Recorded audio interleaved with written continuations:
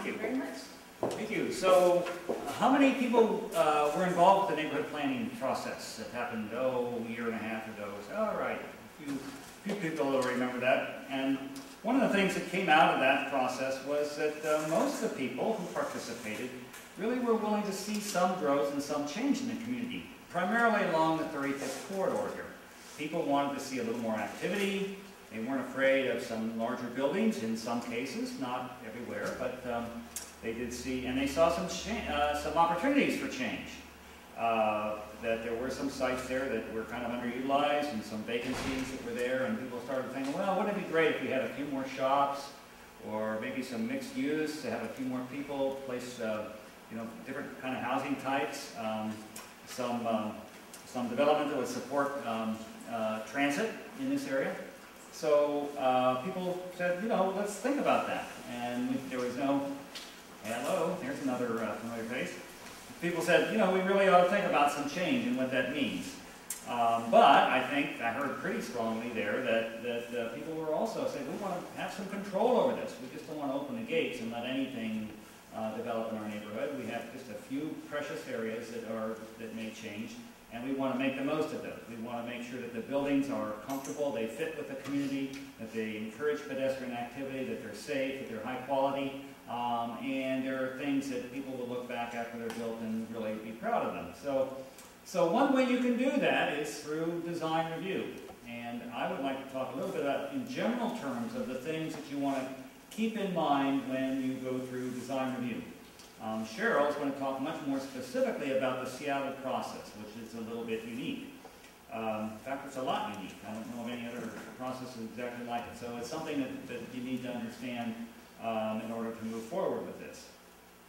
So like I say, I'll talk a little bit about what design guidelines can do, um, you know, and how they can help build a stronger community um, and, and get you what you want. So some of the successful things, just talking in general, um, you need to make sure that your design guidelines that you have, we'll talk about design guidelines, uh, that uh, encourage what you want and, and prohibit or greatly discourage those things that you don't want. You know, the kinds of development, it may be, let's say, I don't know if this is applicable or not, but, you know, it may be that uh, you're not wanting a big box retail. Um, and that's probably not applicable here, but in some communities it is. So you, you have design guidelines that really discourage the, the worst effects of a big box retail type of development. Um, and you want to make sure that whatever you come up with is reasonable for the city to administer. That, that, the, the applicant, the, pro, the project proponent, and the city and the community can work together and come up with an equitable solution. So you want something that's um, easy to administer and easy to understand. And you also want something that's fairly predictable, that you don't, that neither the applicant nor the community has to guess what's going to happen. So you want some way of controlling things that's flexible, but it's a little bit predictable. And you want something that also will produce a reasonable economic value for the developer, or else nothing will happen here. And I don't think that's the, uh, that's the intent of these. So those are the kinds of things you want to deal with.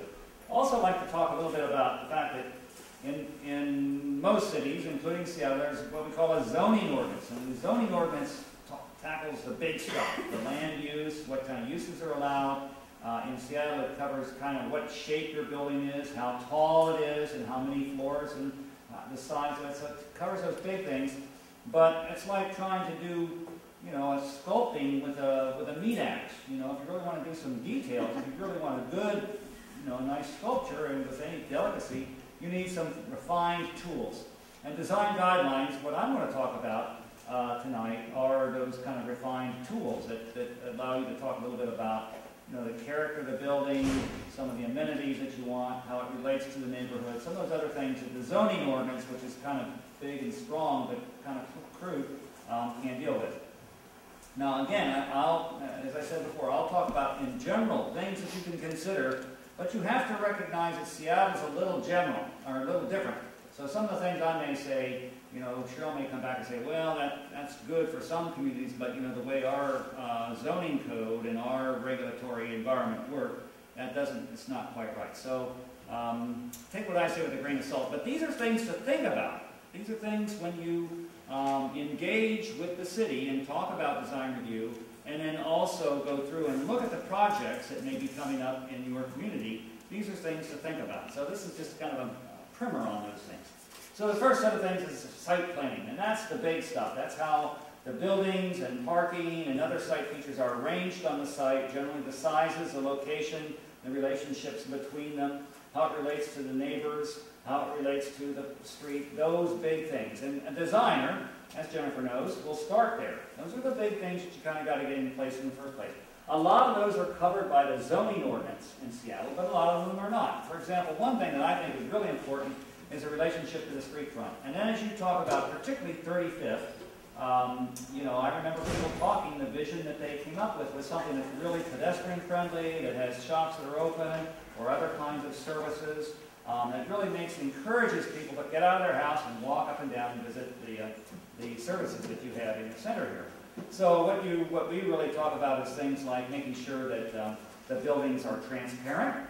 We, we say transparent, that's kind of code for having windows, you know, so that you can look in, that they're comfortable um, to, and are inviting, um, that they generally come close, uh, if not all the way up to the sidewalk, so that there's this kind of uh, kind of direct connection as you walk down the street with the with the street. So you can do window shopping, or you're invited in, those kinds of things. Now, in some cases, the buildings might be set back a little bit for a little bit of a plaza area, a little bit of seating, a little bit of um, outdoor um, uh, displays, you know, for like a hardware store or something like that. But generally, what we want is that that nice transparency, close to the sidewalk, um, very comfortable um, and pedestrian scale, and also a little bit of weather protection, a little bit of overhang. And if you go up and down 35th now, particularly up towards the 80th area, 80th Street area, um, you know, that's what you'll see in some of the more traditional. Uh, John, when you say pedestrian comfort, do you mean like you're under the overhang so you're not getting rained on, what do you mean, like you, you don't? that's feel part of it. I think part of it's physical comfort, but part of it is that you feel secure. You're far enough away from traffic that you don't have the traffic rushing by you. Um, and, uh, and you feel like you can walk comfortably down, you, you know, there's not too many, you know, you, it, it, generally we like to have about a twelve foot wide sidewalk, so two couples can walk side by side comfortably and talk. Um, so those kinds of things. And thank you for doing that, uh, asking this question. Please interrupt me. I'd rather, you know, I'll, I'll go on and on forever unless you guys interrupt me with questions. So, uh, you know, I really would rather have you kind of speak up or questions or comments as we go through. Okay, I'll speak up. Yes. So, um, in, I live in Madison Park, um, and we have this neighborhood is built with five-foot sidewalks. Yeah. But the challenge is that the uh, plants from people's properties grow out across the sidewalk. And I was wondering if the zoning is adapting to natural human behavior when it comes to such things and adjusting that dimension outwards to like six or seven feet. Well, uh, I've done a lot of design guidelines for different cities that do that, that say, Yeah. yes, your setback for your building has to be so many feet from the curb line. Um, just talked about that up in Everett today, along Evergreen Way, where they only have an eight foot wide sidewalk and really they want to have twelve foot wide. So, so generally, uh, you can do that. Now, Seattle, again, is a little different. They have attorneys that say, you know, we're a little hinky about that. Uh, but I've always found, you know, throughout the state, that yes, you can require a setback and you can require that the sidewalk be built up to that. Generally speaking, when you do something like that to somebody's property, what you do is you give something back. You give them something so that of equal value, um, and just so it, they don't contest it. But like I say, Seattle's a little different, so they have a different set of lawyers and a different set of uh, ways of dealing with it. But generally, in, in most cities, uh, yeah, we, we, we require that in some cases. So another thing that's really important is compatibility with neighbors. And this is particularly case in, in a case, I think, where you have a main street like this, and then right on the back side of it, you might have low-rise uh, multifamily or even single-family houses. So in some cases, you may have a three to five-story building, and it backs right up on somebody's backyard. So how do you mitigate that? And you see some pictures here. A lot of these are taken from Seattle. and You can kind of see the situation. We have large and small buildings. This is an urban designer's nightmare because it's really hard to make sure that the people in the existing single-family houses have, the, have their privacy uh, respected. So there are ways, and again, Seattle's a little different. You gotta, you know, this I think is covered more in the zoning ordinance and the design guidelines. But you can kind of consider and think about, you know, trying to um, step the buildings back In some cases, in Green Lake, for example, we allowed the building, the design guidelines say you can build, build a building at least one story tall right up to the property line if you don't have any windows. In a lot of cases in there, the community said, you know, it's better to have a wall in our backyard than to have something, you know, trash and stuff that usually gets put in a setback. So there's a number of different ways of handling this. It's just something to think about. Now, this, this, this is uh, not a zoning diagram here, but when you, when you think about these things, one thing to remember is that a privacy line, you know, that, that you can recognize a person's face, or when you feel like your privacy is invaded, generally is about 80 feet. Now, that's something that the psychologists and environmental types have come up with. And so that's, and it's not a hard line. It's not 80 feet and you're okay. It's kind of a soft line, but generally you try to keep, you know, for, if you have a private space here, you try to keep people's ability to watch it away from 80 feet. So in this case, you might want to require a tree being planted back there, a dense hedge. And in fact, when I looked around, I went around to all these, not all, but some of the cases in Seattle where I have, where you have a, a, a, a like a, you know, an R4 or a, uh, you know, a commercial zone up against a single-family home, home. What I found in almost all cases was that people put very dense hedges between their house. They're not hedges, but trees, you know, a series of junipers or some very strong tree. Uh, and so that's one way of thinking about it. Another thing you want to think about is sun angle. And in our climate, really, it's the south that you have to worry about. If you really look at it, if, if the building's to the north of you, it's not going to block the sun.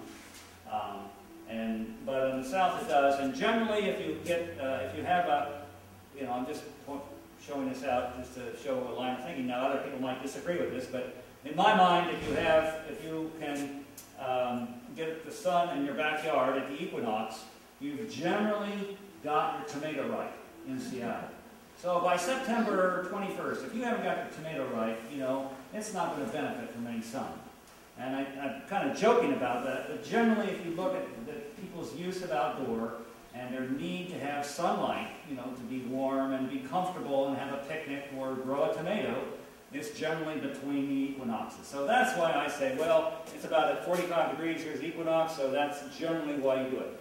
The point of this is that, that these numbers aren't sacred, but when you think about what is important in protecting privacy or having solar access, go back to the science behind it.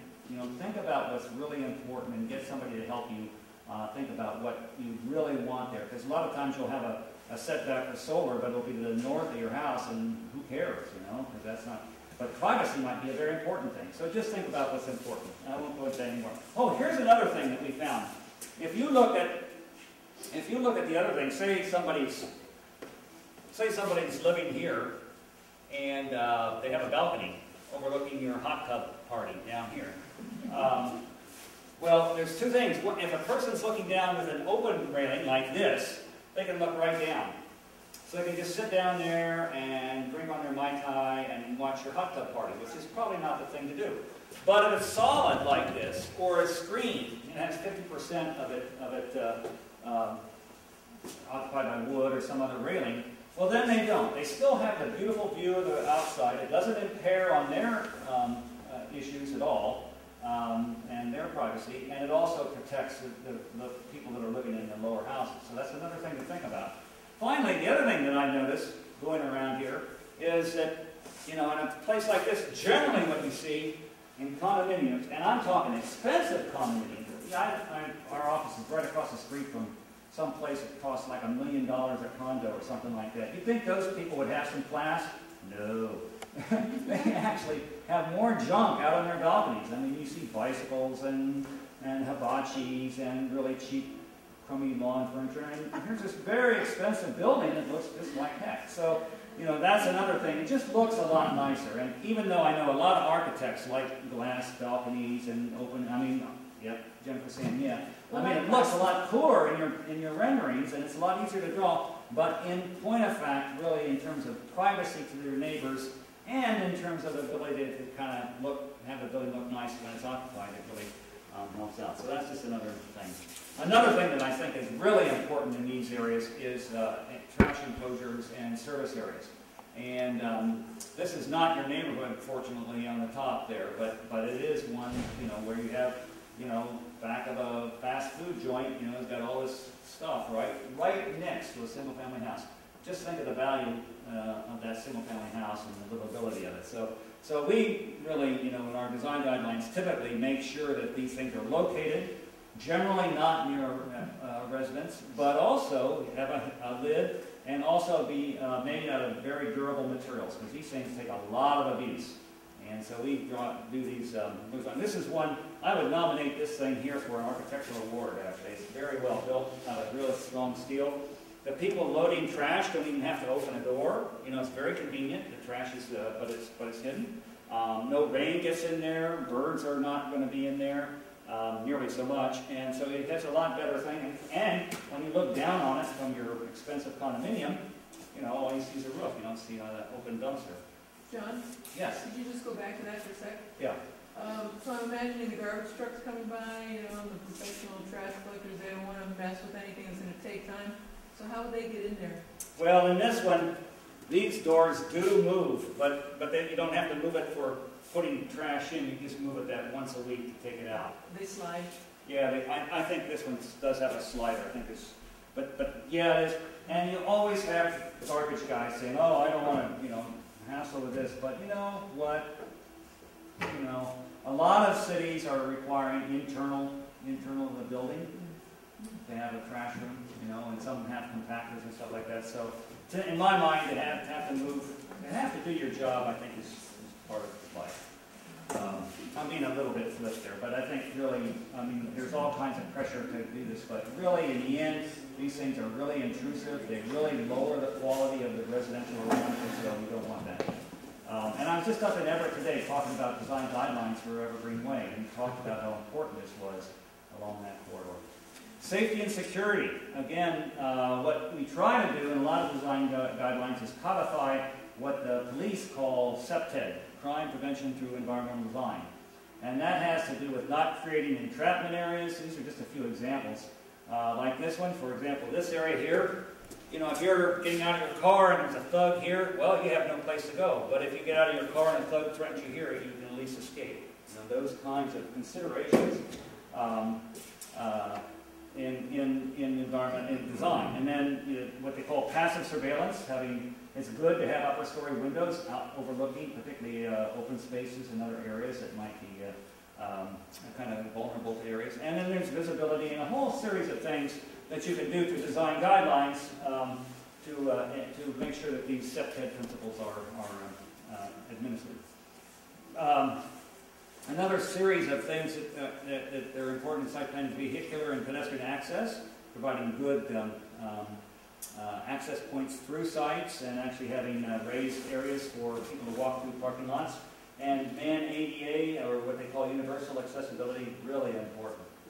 So those are the site planning things, the big picture stuff. The first thing that the designers or site planners do is try to make sure that those big picture items are taken care of in their design. And that's, I think, you know, you can do more in terms of getting a really good quality development by, by paying attention to the site planning issues than any other thing. I mean, it's all important, but the site planning stuff is the building blocks. Um, another thing that I think is really important, and on, on 35th that's going to be paramount, is the pedestrian environment. So those are more detailed things, things that you uh, take care of, uh, mostly aligned with the street um, to make sure they're attractive. And again, some of these are covered under public works standards in different cities. Some are guidelines, some are you know just different uh, standards for roads and stuff. But but um, I think it's something for you to consider uh, when you uh, engage uh, in your efforts.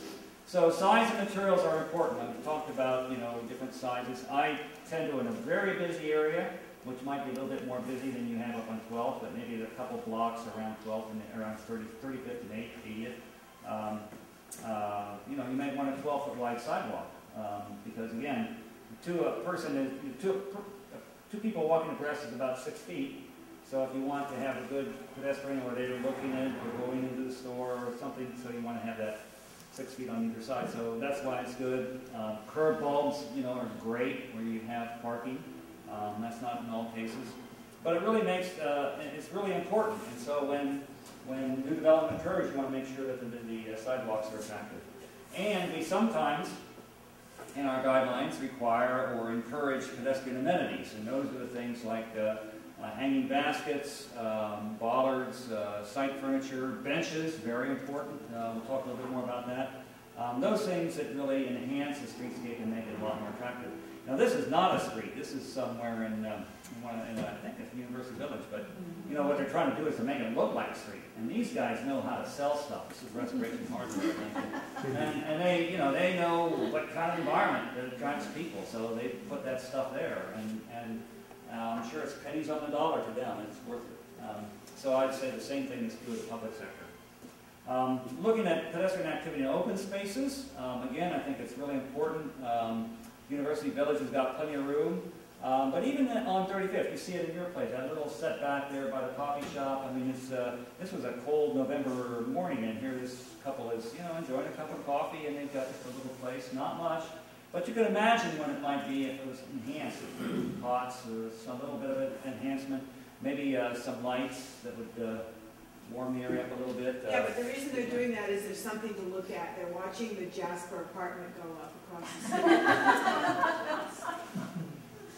But also they're challenged with the, with the step and the slab. Yeah. So that's, you know, there's a, there's a sin there, the ADA uh, uh, accessibility is kind of a problem. But um, uh, anyway, uh, I'll just make the point that this is something to consider when you, uh, when you write design guidelines. Another thing that, again, may be a code kind of an issue, but we tend to always coordinate it with the design guidelines and, and, and try to um, uh, characterize what kind of open space you have, is residential open space. So generally, codes, zoning codes, that is, require a certain amount of uh, open space uh, per unit.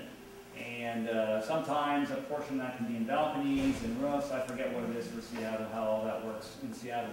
Um, And because they've changed it since I've been around, but um, uh, anyway, you want to think about that. And again, that might be covered in your zoning and may be off limits when you do your design guidelines, but you know, take a shot at it. And, and maybe it's just a characterization of the kind of open space that you want. And they say, hey, look, what we really want is not hardscape or not, uh, uh, do want hardscape or some other kinds of things.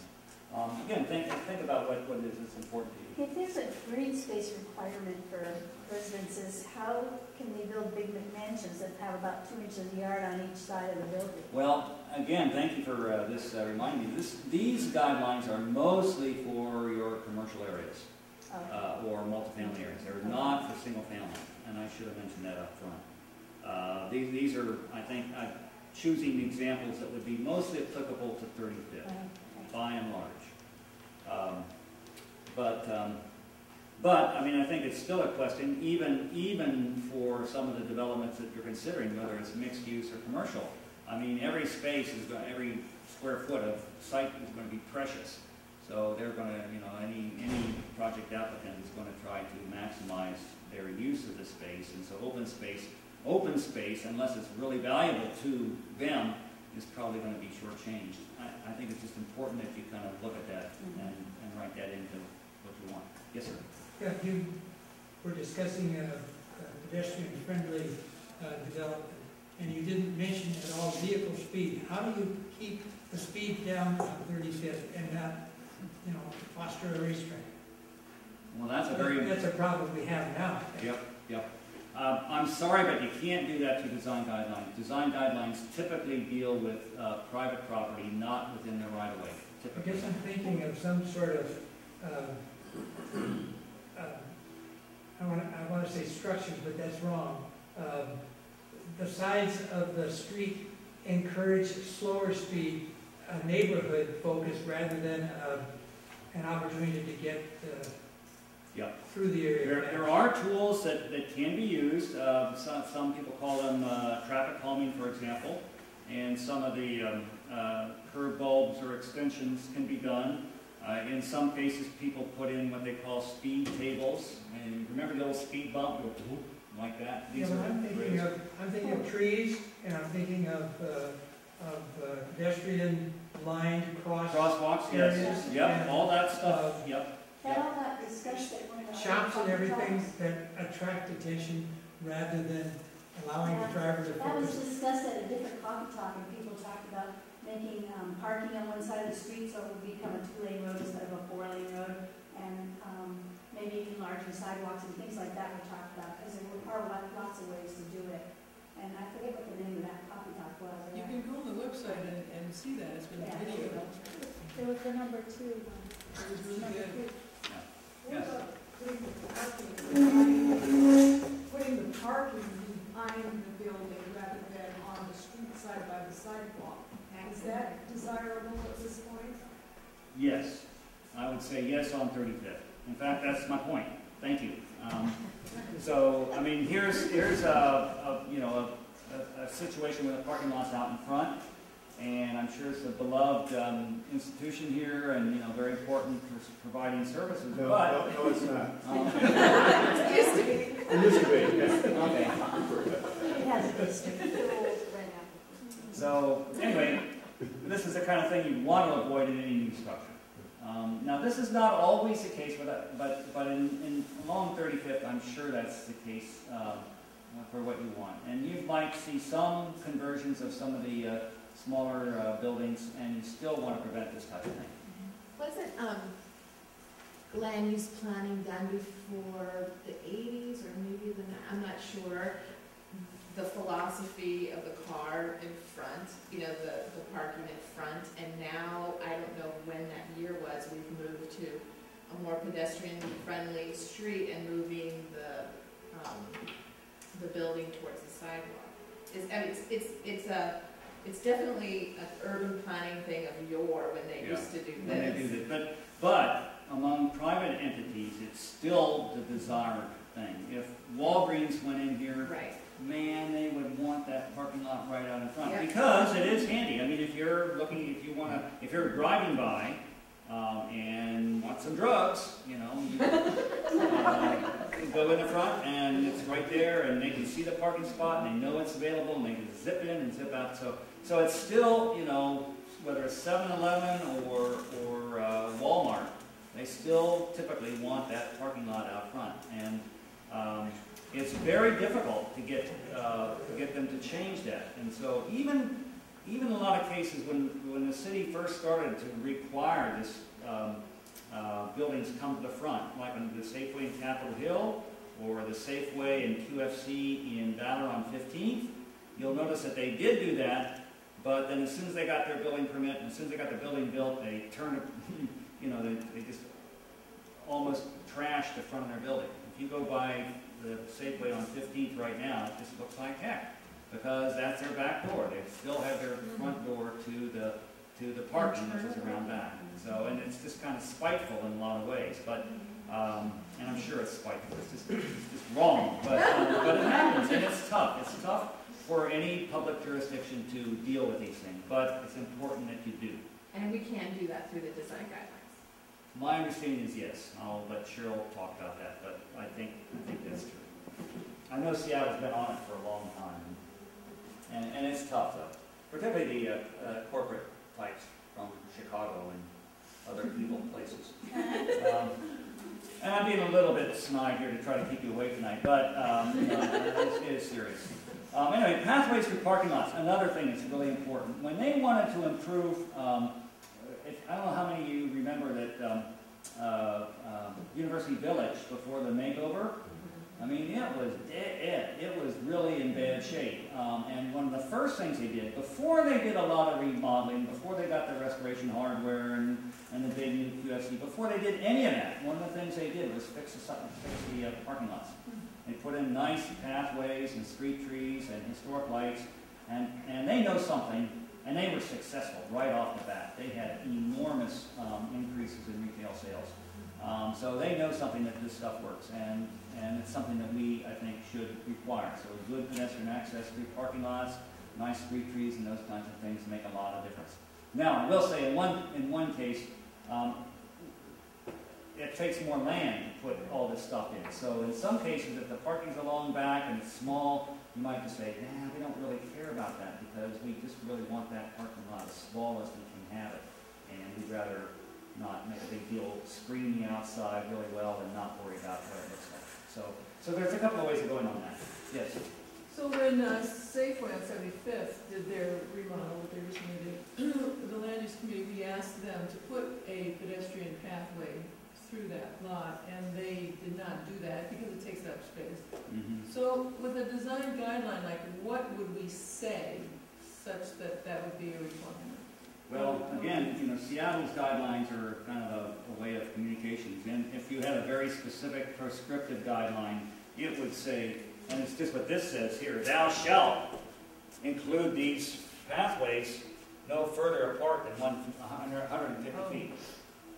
So that means about every two lanes. I see. So, you know, and, and, and for prescriptive guidelines or zoning standards, those kinds of things, that's what you put in. Mhm. And you say they must be raised, and they must be landscaped, and they must have uh, ADA accessible uh, uh, ramps and everything. And in some cases, what you do is you extend that, you make this high too, so that slows traffic down. Oh, yeah. So, so and that's what they did at University Village, and it worked like a charm, and other people have watched it and said, hey, we'll do that too. And so here you see, in the Safeway in Greenwood, um, look what they did there. Quite nice. That's on the roof, though. It's Well- not on the surface. That's true, but you know, um, even so, uh, I mean, that made it harder for them to do the planting. So if anything, I think it was a, the rooftop would discourage that. But you can kind of see uh, what's going on here. The other thing about the parking lot landscaping um, is that you want to have a screen around it. Even if you have it up front or on the side street, you want to make sure that, that it has a nice screen. But one thing that I've noticed, I think, is that there's a number of different ways of doing it. I mean, you can put a row of pyramidalis in there and, you know, it has a nice hedge, uh, or laurel or something, and that's one way, or a ten-foot, uh, high thing. Uh, but you can do it with a trellis, you can do it with a smaller hedge and a wall. Uh, there's a number of ways of doing it. So one thing I'd like to do in design guidelines is give, um, people a, a lot of options in that regard. And some of them take less space, so if you're really trying to cram more parking in a smaller spot, some of these uh, trellises and stuff become really cost effective. But you've got a good shot there, because that parking lot's mostly empty like that all the time. Because it's, it's on the roof of the store, Yep, and the, they kept the street side parking, and it's jammed because they Yeah. wanted to step right in the front door from the street side parking. And this is on the roof, and you have to go in and go down an escalator to get Yeah. onto the main Yeah. floor. it doesn't, it doesn't work, but I think that, I mean, the point is that, that, um, uh, this is what should be done for, uh, you know, parking lots. This kind of act- activity. Uh, but, but your point is right, that, you know, the, the one that works is, the parking lot that works is the one that's convenient and people can see from the street. It's great, because there's space to park, but nobody's Yep. parking them. Yeah. So stormwater in parking lots, uh, uh, well, I should say stormwater everywhere. Um, there's a number of new ideas now about uh, rain gardens and ways of handling surface water. A real, uh, I mean, it used to be the engineering way would be to get it off-site and get it in a pipe as soon as possible. Of course, we're not doing that anymore. There's a number of ways of doing that. So the other thing, I mean, I noticed you guys were front runners in sustainability. You had your whole sustainability program, I guess, still going on, which has a lot of different aspects it. Uh, and so anything that you have, any kind of site improvements, I think, really consider the um, uh, drainage. You've got good soil for it up here, you're on a ridge. Um, Glacier left, left you a lot of gravel, I understand, so you do a lot of stuff. Um, uh, and now, so the other step is building design. Um, so we went from the big picture, of the site planning, down to some of the things that would be the site elements, and now down to building design. Uh, and this is where you can get a lot of design character, and the quality of the building really uh, can be affected by how you how you shape that. Um, and you know, I think one of the things about the character is just what kind of character do you want? I mean, I think that's a good community discussion. Um, and it's one that's really hard to codify, even the design guidelines. You know, people will say something like, we want the Northwest regional character. Well, what's that? I've seen them that, you know, I want the Woodinville woodland character. Okay, you know, what, uh, and, and you try to describe it. But, you know, you can, a lot of times what you do in design guidelines, you show pictures of it. And, okay, we don't, you know, it's like pornography. We don't, can't say what it is, but we know it when we see it. You know? um, so, you know, I mean, to me, when I see, I mean, this to me is Wedgwood, but it may not be Wedgwood to you. You know, I mean, it's just nice and simple and very clean. And look at, I mean, there's somebody really thought about the modulation there and how it all fits together. It's just really. But um, I think that's something that would be a very interesting discussion that you could have with yourselves about what kind of character you want. The other thing, though, is there are some things that you really want to think about, and, and one is um, uh, maybe not prescribing a style. I would generally, unless you've got a very strong characteristic style already, I would kind of steer you away from trying to go Tyrolean or, you know, something like that. But um, uh, the, uh, there are some aspects of architectural style or character, we should say, that are important. For example, the, the modulation and the breakup of scale. For, um, you know, the top building, those two buildings are essentially the same building. Um, but, you know, the top one is trying to make it look suburban and big, and the bottom one is trying to make it look more neighborhood and, and cute. So the question is, you know, is that the kind of thing that you want to do here? And, and there's a number of techniques in design guidelines. This is where design guidelines are really good at, at what they call modulation, which is stepping in and, and stepping out of the building, and articulation, which may not, might have a plain surface, but different uh, colors and textures, or the way it's landscaping or window patterns set up this repetitive rhythm that really uh, breaks down the, um, the scale of the building. So here's some examples of that. Uh, one of the things you want to do in architecture is, is make the building comfortable or friendly or welcoming. And, and the way you do that, one way you do that, is to make the um, elements of a building of a human scale. So that when you see the building, you say, oh, there's a door. I know how the size of the door for my body. Or a window with panes that are small. I know that. I know, you know how that works. So those kinds of uh, keys really allow you to think about um, you know, how you relate to the building. And it just is kind of one of these subconscious things. It just is a nicer, friendlier feel. You know, the fascists, you know, in Germany, what they did was break, not having buildings of scale. So you looked up and you saw some of these fascist buildings, and man, you couldn't tell whether they were enormous and a mile away or a couple hundred feet and not quite so enormous. But, but that was part of the disorientation that they actually sought. And here, of course, we're not trying to do that, I don't think. Um, so, so, you know, the door, very nice human scale door, smaller windows, the sign is pedestrian, the bench is a very good clue as to what the pedestrian scale, some of the details. Um, balconies that are obviously balconies are things that really give an indication of that. So all those things I think really help. And, it, you know, we don't try to, in guidelines, typically prescribe what you do. You can say do something and give them a whole list of different options that Um, building corners are important. Um, we, uh, we did some uh, guidelines for uh, a long time ago for Mill Creek, and um, I don't know if you've ever been up to Mill Creek Town Center, but we, one of the things we said, oh, let's, let's just make sure every corner is special, because they had a lot of small blocks. And, and sure as heck, the architects just went crazy with the corners. This one on the right is, is a corner, eh, that is from Mill Creek, and they, man, every, every little block has some special luga that, that does that, you know. But it works. It really does work. It's very quite nice, and it just adds a lot to the character of the area.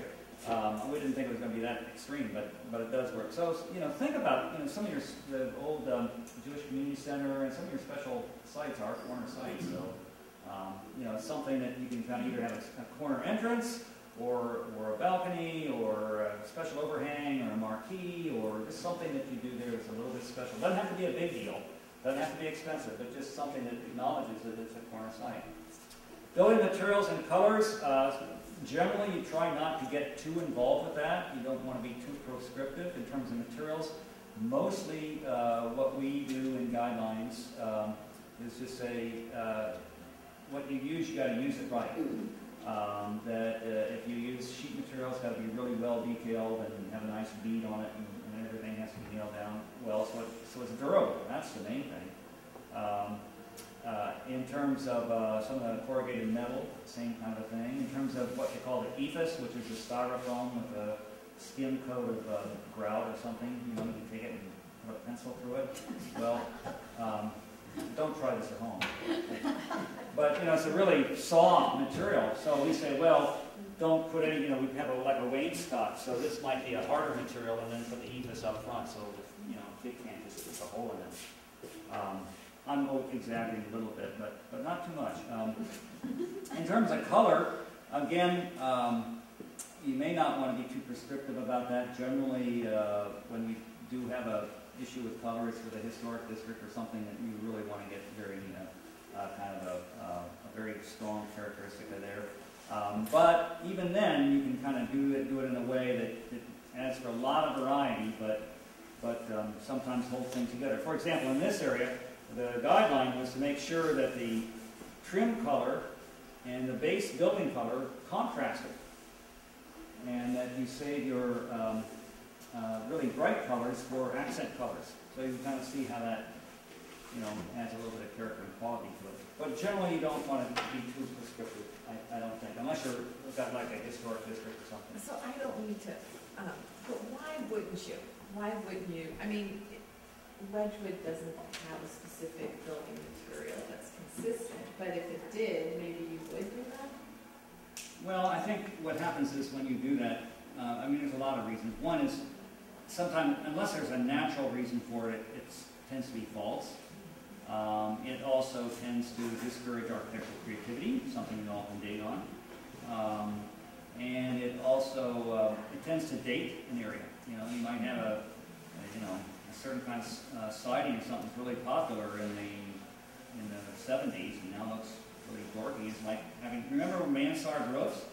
And everybody thought they were so cool, you put a mansard roof on everything? Well, you see a mansard roof, you're saying nineteen seventy to nineteen seventy-five, and it looks really kind of strange. So, we try not, I think, I think, particularly in an area like, um, uh, like Wedgwood, that has evolved, that has an organic character, I think you want to keep that organic character and, and allow things to move and, and grow and change. Um, but, you know, have some continuity, so that's the main thing. And quality is really important. Now, there are some building materials, since you brought it up, that we do generally mix. Mirrored glass is one that just tends to turn people off, um, in most cases, at the ground level anyway.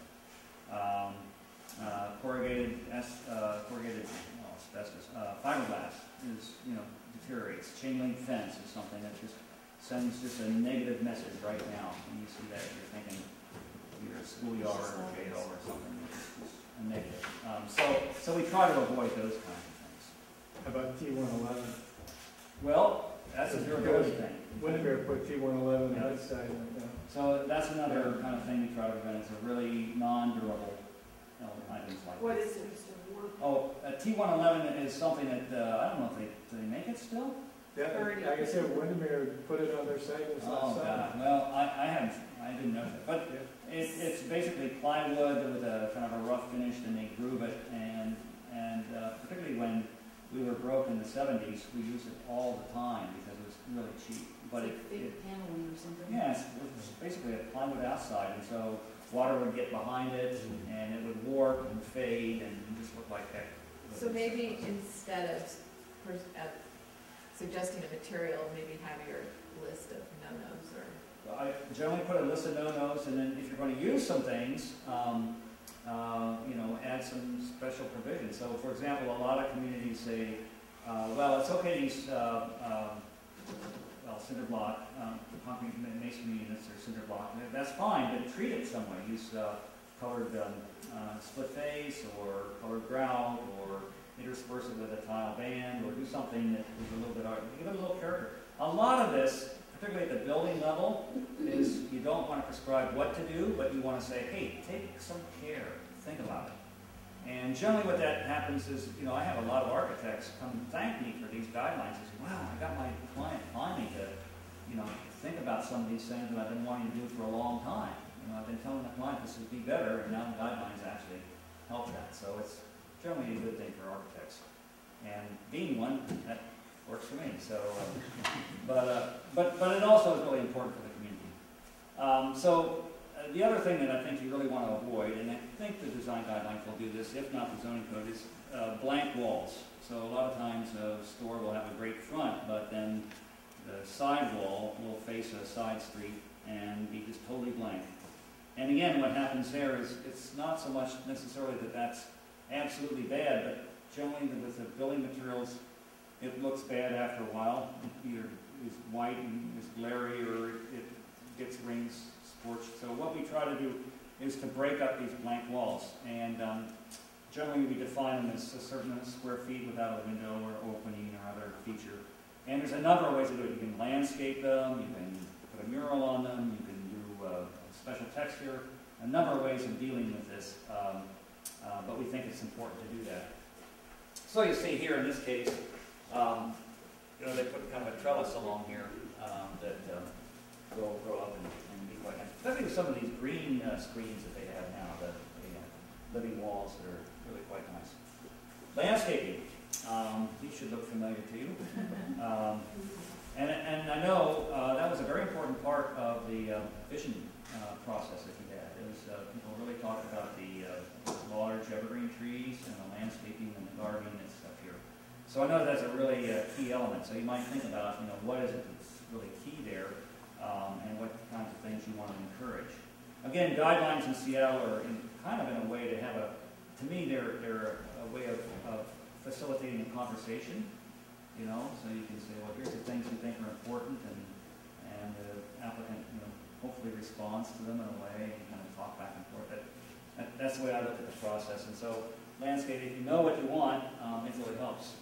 And, you know, enhancement, I think, particularly on thirty-fifth, is going to be what you want. So you just make sure that, you know, when things like this happen, that you have, uh, a nice uh, palette of materials and uh, paving and, um, and uh, the way the shape, uh, the shape of the, uh, of the, space itself is important too. Signage, we're getting close to the end here, I'm almost done, um, but, um, signage is important, again, that's through the sign code. Um, and so a lot of times not something you can deal with too much effectively in Seattle. Uh, at least that was my last experience, but, um, uh, maybe Cheryl will say something a little bit different, but, uh, but I think, um, if you can, try to address it. Um, it really is something that, uh, affects the area, and you don't need big highway type signs here. Um, so it's something you should really, really think about. And pedestrian oriented signs, something that's low, you know, below fifteen feet, uh, and, uh, generally on, on building faces is, or surfaces is the way to go with that. But, all in all, oh, I forgot lighting, yes, how could I forget lighting? Lighting is important, not only street lighting, but building lighting. I mean, if you really, you know, right now, we're hopefully gonna get into spring pretty soon, and so we won't notice it so much, but, um, but building lighting in the way, you know, the sconces off the building, and the way building, uh, light from the windows and things, really helps in after-hours environment. People just feel like coming out, just like that. Now, on the F, there you see, uh, the street lighting there, when they did the street lighting, um, uh, that, some of the, some of the restaurants increased their business fifty percent in the first year. I mean, they had some of the the hot dogs, corn, wanting to kiss Patty Whistler, that's the thing, you know, um, made such a difference to their business. And they were struggling, I mean, with all the street problems, they were really hurting, and, you know, so it made a big difference. So lighting, I think, is something to really think about. And, and sometimes we put lighting levels in the design guidelines. But overall, it's what's important to you. I mean, you're, you know, hopefully, you're gonna have a chance to, uh, work, uh, with the city on this. And the important thing of that is that you get together and figure out what's important to your community, um, and how to, how to work with it. So I'm gonna turn it over to Cheryl now, and she'll give you the real facts. The ones need good jokes, probably, so.